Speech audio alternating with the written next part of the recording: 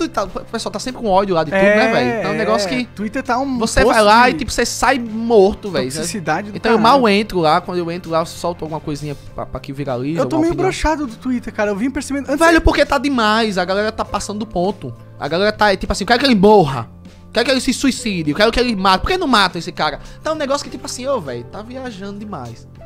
Porque eles estão tratando influenciadores e pessoas como se fossem caras que matou alguém. É. que derrubou as torres gêmeas, e quando não é.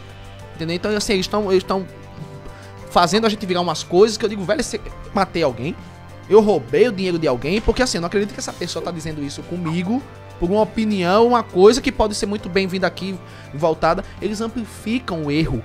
Eles são tão pau no cu que eles vão lá, eles não querem saber. Eles amplificam o seu erro, deixam o seu erro, que é uma coisa ali minúscula, uma coisa maior. E ficam remoendo aquilo durante anos, ó. Porque é uma galera infeliz. Entendeu? É uma galera infeliz.